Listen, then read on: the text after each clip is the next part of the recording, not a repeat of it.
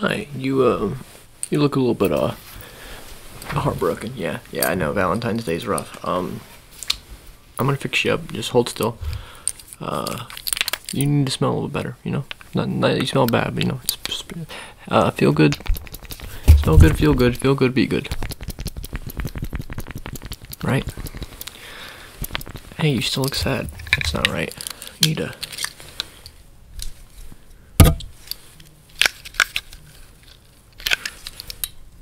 That out. Put that in my pocket and see if I can make something out of that. Alrighty. Yeah, here we go. Got some red rope for you.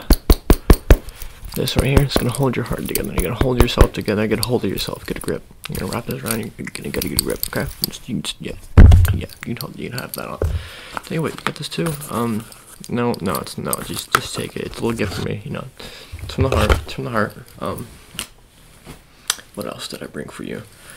Uh, this is also for you to get a grip. Don't worry. There's other fish in the sea. There's no reason for you to be uh acting this uh upset. You're gonna get better. Someone's gonna love you. Maybe not now. Maybe not ever. But hey, you're gonna love yourself, and that's what's important. Now, see, you see all, see all the red things I gave you, because that's how you have to love yourself with a burning passion, right? You're your own Valentine. But I, I know Cupid, I'll talk to him about you, see if we can get you uh get you the hookup. Uh, I got connections.